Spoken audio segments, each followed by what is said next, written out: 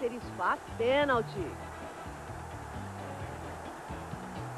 Marcelinho, com a categoria de sempre, faz 1 a 0 Corinthians.